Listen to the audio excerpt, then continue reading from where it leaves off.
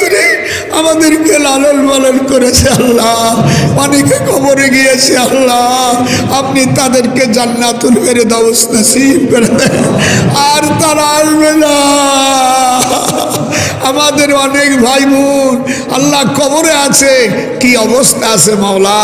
হাদিস শরীফের মধ্যে আসছে, যার যখন কোনো আলেম, ওলামা, পীর মাসেক কোনো বুজুর্গ লোকের হাটে যায় সেই গ্রামের থেকে কবরে আজাবকে আল্লাহ উঠায় না আয় আল্লাহ, দয়া করে আপনি আমাদের বাপ মা, দাদা দাদি এবং আদম মা হাহার মা হাওয়া আলহিসাম বাবা জান আদম আলহিসামের সব সন্তানকে নাজাদ দিয়ে দিন। আমার সাথে সালাম দেন হুজুরকে, আসসালাতু আসসালামু আলাইকা ইয়া রাসূলুল্লাহ, আসসালাতু আসসালামু আলাইকা ইয়া হাবিবাল্লাহ, আসসালাতু আসসালামু আলাইকুম কুল্লু আম্বিয়া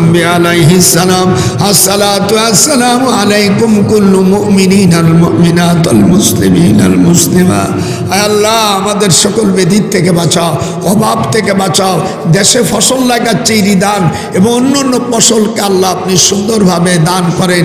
আপনার কাছে ভিক্ষা চাই মাওলা, আপনার গুণাগার হতে পারি, কিন্তু আপনার রহমতের দরজার থেকে আপনি আমাদেরকে বিদায় দিয়েন না মাওলা।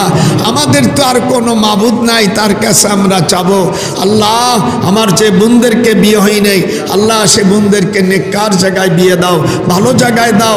আর বিবাহর পরে যাদের সন্তান, সন্তানই হয়নি তাদেরকে নেক সন্তান আপনি দান করেন। সকল অভাব থেকে বাঁচাও। আল্লাহ, যারা আমাদের এখানে, আমার সাথে যারা হাত তুলেছে, আল্লাহ সারা বিশ্বের মুসলমান যারা কাফনের কাপড়ের আগে আল্লাহ হজের এহরামের কাপড় পরাই দাও। বলেন, যারা আল্লাহ কাফনের মৃত্যুর সময় কাফনের কাপড়ের আগে আমাদেরকে এহরামের, হজের এহরামের কাপড় পরাই দাও। আয় আল্লাহ, আপনার রহমতের কামনা করি। আমার ভাইরা আল্লাহ অনেক রাত পর্যন্ত কোরআনে তাফসির শুনেছে। দয়া করে আল্লাহ তাদের কবুল আর মঞ্জুর করে নাও। আয় আল্লাহ পাক, খাস করে আমাদের বাপ, মা, দাদা, দাদি, নানা, নানি, আত্মীয় স্বজন সকলকে নাজাদ দিয়ে দিন আল্লাহ। করুণা ব্যাধি অমিক্রণ আরও যারা আছে সামনে কস হুজুর বলছেন, তসবির দানা কেটে দিলে একটার পরে একটা যেমন মুসিবত আসবে, শেষ জামানে এরম আসবে। ইমাম মাহাদি আসবেন, দাজ্জাল আসবে, ঈসা আলাইসাল্লাম আসবে। আল্লাহ দয়া করে আপনার রহমত ছাড়া আমরা কেউ বাঁচতে পারব না।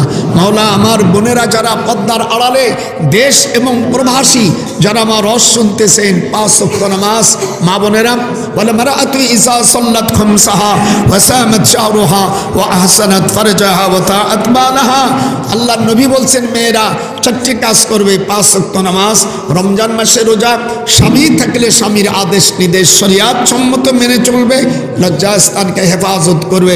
ফজুর বলেন, এই মেয়ে লোকের জন্য সকল বেশতের দরজা আল্লাহ খুলে দিয়েছেন।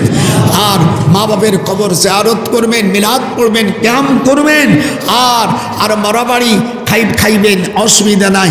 যারা এর বিরোধিতা করে, এই সকল মৌলবীদের কথা শুনবেন না। দয়া করে আল্লাহ পাকের কাছে আমরা ভিক্ষা চাই।